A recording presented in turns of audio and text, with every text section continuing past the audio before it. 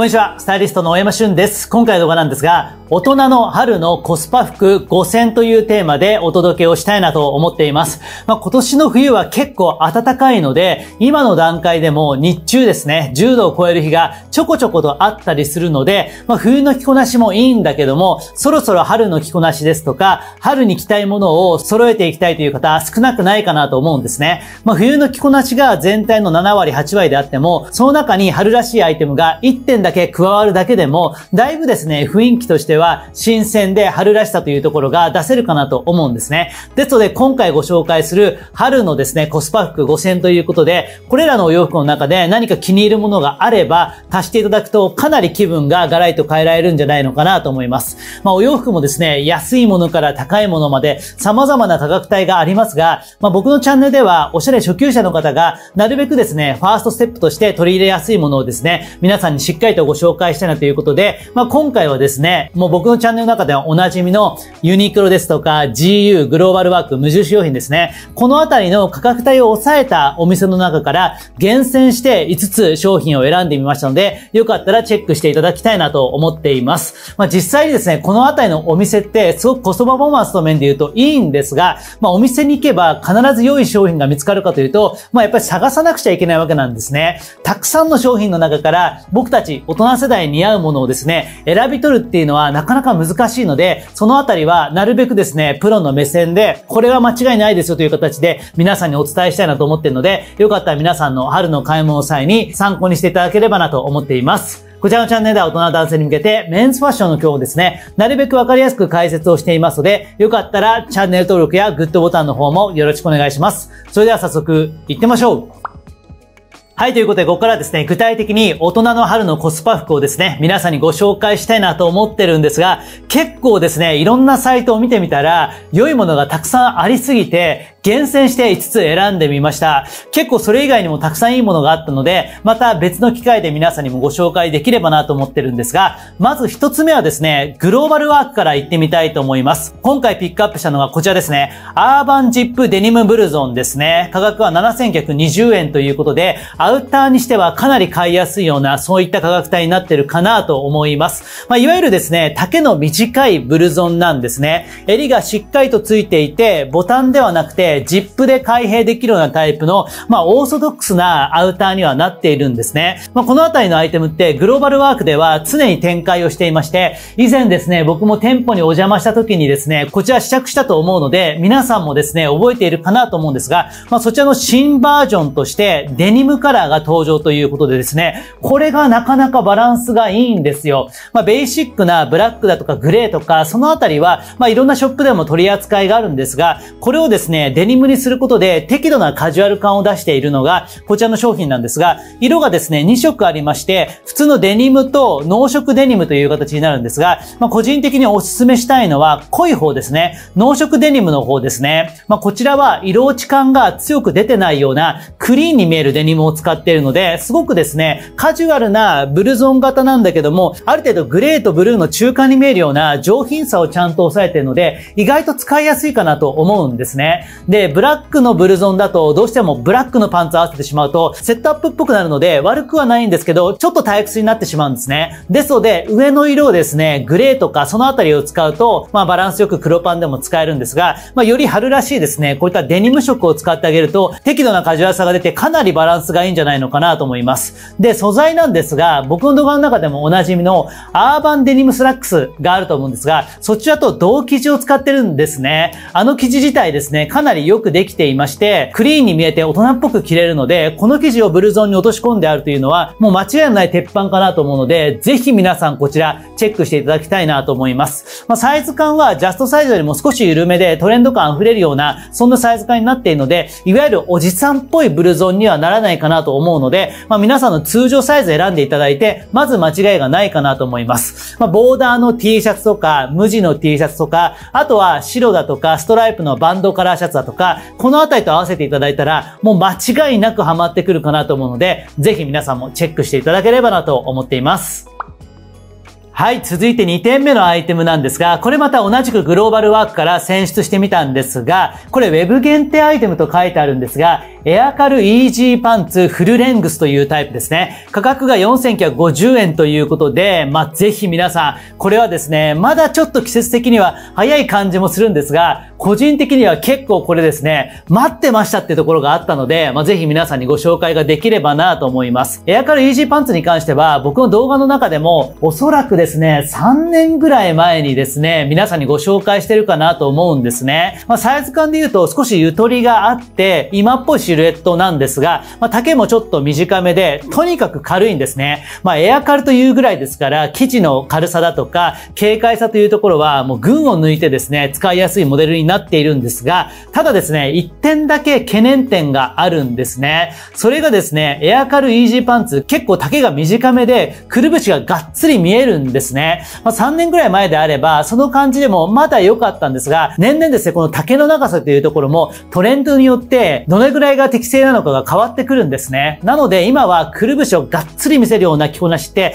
あんまりしなくなってきてるので、フルレングスバージョン、もうちょっと丈長いと嬉しいんだよなと思ってたんですが、そこにですね、このエアカルイージーパンツフルレングスタイプが出たということで、これだよと思ってですね、個人的に今テンションが上がってるんですね。この素材の軽さと、あとはシルエットですね。ちゃんともも周りだとか腰周りにはゆとりがあるんだけども、膝から下適度にテーパードが効いていて、そんなにカジュアルすぎないというですね、全体のバランスですね。そこら辺を兼ね備えながらも、ちゃんと今っぽい丈感になっているというところで、これはですね、鉄板のアイテムに踊り出てくるんじゃないのかなと思います。カラー展開も豊富で、まあ、鉄板のブラックもあれば、あとは使いやすいですね、グレーですね。このあたりもブラック系のアウターとか、ネイビー系のアウターにも相相性がいいので、持っておくと便利かなと思います。まあ、グレーに関しては、グレーとチャコールグレー2色あるんですが、春であればチャコールよりもグレーぐらいの方が、ちゃんとこう、季節の雰囲気にも合いやすいかなと思うので、こちらをお勧めしたいなと思います。あとはデニムライフとかもあったりするんですが、個人的にはブラックとグレーの2色を押したいなと思います。まだちょっと接触冷感があったら寒くてしょうがないんですけども、もうちょっと季節が進んで、春先ぐらいからはですね、こちらのエアカルイージーパンツフルレングスはめちゃくちゃ使えると思います。価格もですね、こなれていますし、夏は本当に軽いということが涼しさにもつながるところもあったりするので、こういったパンツ1本持っておくと便利かなと思うので、ぜひ今の段階から頭の片隅に置いていただければなと思っています。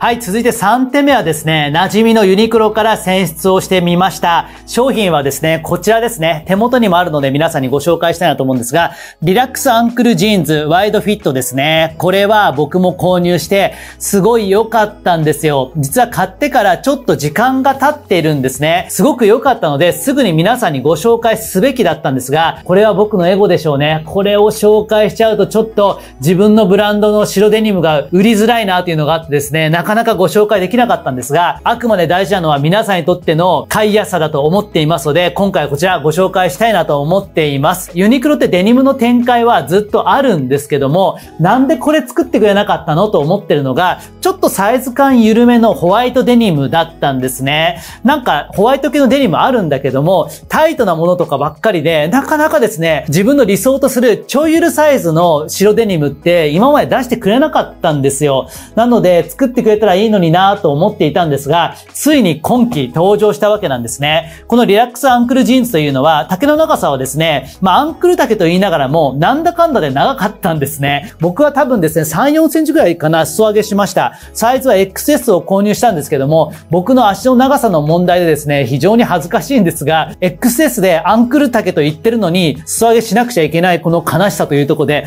ちょっとね、そこは切なかったんですが、まあ、すっきりとした丈感のデニムに仕上がっていますまして、サイズ感ですね。まあ、ちょっと履いてる状態もお見せしたいなと思うんですが、このように適度にゆとりがあるんですね。ホワイト系のデニムというのは、爽やかで使いやすい反面、ちょっとキザ男っぽくなりがちなアイテムなので、まあ、できればタイトにするのではなくて、少しゆとりを出した方がいいんですね。まあ、その代わり、裾はですね、あんまりたるませるとだらしなく見えてしまうので、えスッキリめに、ハーフクッションから、まあ、ノークッションぐらいで仕上げてあげると、バランスがいいかなと思うんですが、これ本当によくできています。厚みもちょうどいいし、し、まあ、ちゃんとウエスト部分にはですね、このようなドローコードがついていまして、ウエストの調整もできるというところで完璧なんですよね。まあ、僕のブランドでも白系のボトムス作っていまして、これからね、発売予定だったんですけども、これがですね、めちゃくちゃいいので、皆さんもですね、3990円、こちらをですね、買っていただくのが、まあ間違いなくですね、コスパ面ではいいんじゃないのかなと思っています。で、安いから悪いかというと、そんなことは全然なくて、ユニクロは安くてよくできてるからから非常に困るんですよね。まあこれは名作だと思います。他にもこちらのデニムはグレーだとか、あとはですね、ブルーがあったりするんですが、やっぱりブルーの淡い感じっていうのは、まあすごくいいんですけども、僕ら世代が履くとちょっと清潔感が出ない可能性があるので、ちょっと難しいんですね。まあ一方でグレーに関しては程よいですね、気だるさが出て、僕は大好きなカラーなんですが、まあこのデニムの中では、やっぱり一番クリーンに見えるホワイトですね。こういったものの方がが使いやすいかなと思います。まあ僕はユニクロとか GU グローバルワーク無印良品で結構ですね、濃い色とか、むしろ逆にですね、マッチ色とか、こういったはっきりとした色を選ぶことが多いんですが、これなぜかというと、このような黒とか白とか、はっきりとした色ほど、そんなにですね、値段によるチープさみたいなものって出ないんですね。一方で、ちょっと明るいブルーとかのデニムになってくると、色落ちの表現だとか、細かな色合いとかで、高いものと安いものの違いっていうのは、やっぱり出やすいんですよ。一一方で、ブラックとかホワイトというところは、明るいか暗いかなので、そんなに高いか安いかが見えづらいというところでは、そういった色が多くなってくるんですが、このホワイトデニムも非常によくできているので、まあ、ぜひですね、気軽に白デニム履きたいなという方には、これおすすめできるような一本かなと思います。もちろん僕のブランドのですね、白デニムもすごくいいところたくさんあるんですが、まあやっぱり汚れも気になるというところでは、こういったものをベースとして一本持っておくと便利かなと思うので、ぜひ皆さんもチェックしていただきたいなと思っています。はい、続いて4点目はですね、GU から選出をしてみました。こちらですね、ウィンドウプルーフスタンドカラーブルゾンですね。価格は4990円ということで、これはですね、大傑作だなと思います。先日 GU さんの店舗にお邪魔しまして、いろんな商品をですね、試着しながら皆さんにご紹介しましたが、その中でもうベストだなと思ったのが、まさにこちらのウィンドウプルーフスタンドカラーブルゾンだったんですね。まあ、カラーはブラックとですね、あとはベージュ2色あるんですが、個人的にはこれ断然ブラックが良かったですね。まあ、ベージュに関しては先ほどもお伝えしましたが、まあ、ちょっとこう曖昧なカラーで中間色ですよね。まあ、そういったものに関しましては非常によく色味できてるかなと思うんですが、よりブラックの方が高見えするんですよね。生地の質感もチープさがなくてすごくしっとりとした雰囲気でめちゃくちゃ良かったんですよ。まずはデザインから見ていきたいなと思うんですが、スタンドカラーのブルゾンということで、一応ですね、フードが中に入っているので、このフード出したりすることもできるんですが、出さない方がいいと思います。出さないでこのスタンドカラーの部分にですね、ちょっとボリューム感があるのがすごく立体的に見えるので、バランスがいいかなと思います。そしてこのシルエットとしてはちょっと丸みがあるような肩のラインも落ちたようなですね、デザインになっていまして、まあ今のですね、こういったトレンドをうまく抑えたようなアイテムになっていまして、ちょっとテック感があって、すごくバランスが良かったんですね。まあ、今季の様々な春系のブルゾンの中では、個人的にはドストライクなですね、アイテムだったなと思います。なんか大和ピュアとか、そのあたりでやりそうな雰囲気もあるような、そういったような雰囲気を持っていまして、腰のですね、大きめのポケットだとか、このあたりも含めて、なかなかバランスがいいんですね。まあ、着てる状態は先日の動画、こちらを見ていただきたいなと思うんですが、僕は身長164センチ53キロで、小柄の体型なんですが、M サイズで少し緩さを持ちながら着てあげると、バランスがいいんじゃないのかなと思います。まあ、アウター自体がブラックで重たいので、こういう時に先ほどのユニクロのホワイトデニムですね、すごく使えると思います。ブラックとホワイトでモノトーンで組みながらも、コントラストをパキッと強めて着こなしを作っていただくと、シャープさも出るんだけども、ブラックの持つ暗さをですね、ホワイトパンツで春らしい形で変換することができるので、これは使い勝手いいですよ。まあ、日中ですね、13度くらいになれば、結構中着込めばこれぐらいのものでもですね、使えることもあると思うので、1枚持っておくと、まあすごく便利かなと思います。やっぱりユニクロの商品見ていると、毎シーズンですね、出てくるものって予想が立つんですね。まあこの路線のアイテム出るよねっていう形で、大体は騎士感があるものが多かったりするんですが、まあ GU はその点ですね、トレンド感のあるものが多くなってくるので、まあ見ていてワクワクしたりだとか、これ今っぽいなというものが多くて、しかも意外と着てみると、そんなにサイズ感も大きすぎないし、ワンサイズアップしなくても、ちゃんと今っぽいサイズ感が出たりだとか、トレンド感を抑えたものも多かったりするので、結構大人世代にも自由は使えるなというのを最近つくづく感じてるわけなんですが、まさにこちらのウィンドプルーフスタンドカラーブルゾンに関しては、大人世代、あとはパパ世代にもめちゃくちゃ使えるかなと思いますね。公園で遊ぶときに、まあ、コンパクトジャケットみたいなフードのついたアウターもいいかなと思うんですが、もうちょっとですね、今っぽいスタンドカラーで、スポーツブランドロゴがついてないものを持っておくというのも、2つ使い分けができるかなと思うので、まあ、ぜひこちらもですね、チェックしていただきたいなと思っています。はい、続いてラスト5点目はですね、無印良品に行ってみたいと思います。こちら、洗いざらし太番手ボートネックくぶ袖 T シャツですね。価格がですね、3990円ということで、まあ、まさにですね、無印良品らしいですね、デザインのアイテムになっているかなと思います。まあ、無印というとですね、やっぱりベーシックで使いやすいようなスタンダードなアイテムが多いイメージが強いかなと思うんですね。その中でも最近はちょっとトレンド感が溢れるようなデニムのカバーオールですね。僕も先日ご紹介しましたが、このあたりだとか、サイズ感ちょっと緩さがあって、今の雰囲気を取り入れたものも結構増えてきてるんですね。まあ、その中でこちらのですね、ボートネックのくぶ袖 T シャツというのは、割と従来の無印良品らしいですね、ベーシックなアイテムに見えるんですが、まあ、サイズ感ですね、このあたりは最初からですね、身幅にゆとりを取ったようなワイドフィットに仕上げてあるんですね。なので、見栄えとしては無印っぽいベーシックさを兼ね備えてるんですが、サイズ感が現代的というところがすごく使いやすいポイントかなと思います。このようなボーダーのカットソーというのは、春時期だとか秋なんかにはもう鉄板でいろんなブランドから出してるかなと思うんですね。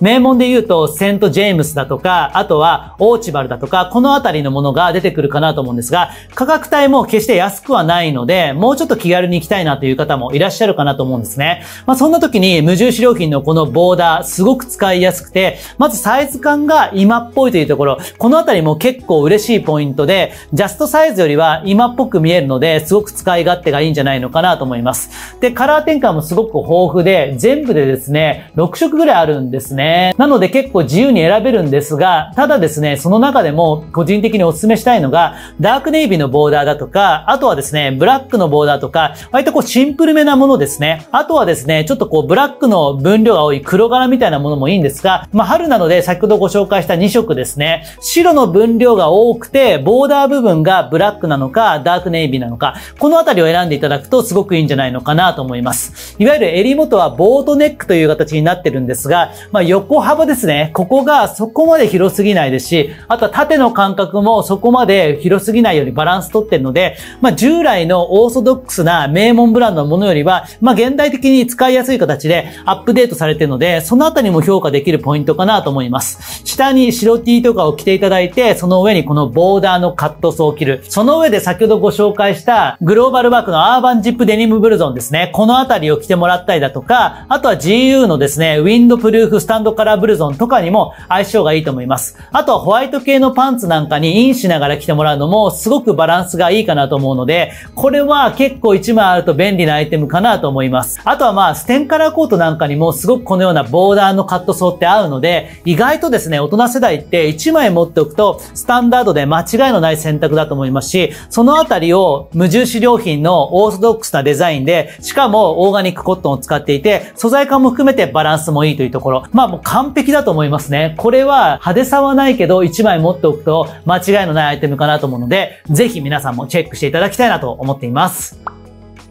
はい、ということでいかがでしたでしょうか？今回の動画では大人の春のコスパ服5000というテーマでお届けをさせていただきました。まあ、改めてそれぞれのアイテムを見てみると、どれもですね、バランス良くてお金をかけずにもおしゃれを楽しむことができるというのをですね、改めて実感できるようなアイテムだったかなと思っています。ただ、これらのアイテムをですね、何にも考えずにお店に行ってピックアップできるかというと、かなり難しいかなと思うんですね。僕もですね、昨日ユニクロですとか GU グローバルワークお店に行きましたが、まあ、店内広いんですよ。その中で冷静な気持ちで、これだったら僕ら世代に似合うのかなっていうのをピックアップするのは無理ゲーだと思います。それだけ商品量が多いので、僕自身も悩んでしまうぐらいなので、まあ、ぜひですね、僕の動画だとか、他にもたくさんのファッション系の YouTuber の方だとか、インフルエンサーの方いらっしゃるので、まあ、そういった方のご提案を見ながらですね、ある程度絞り込んで、そういったアイテムを見に行って試着をするというのが、失敗しないためのですね、一つの方法かなと思いますし、まあ、時間も短縮できるかなと思うので、まあ、ぜひこういった動画活かしていただければなと思っています。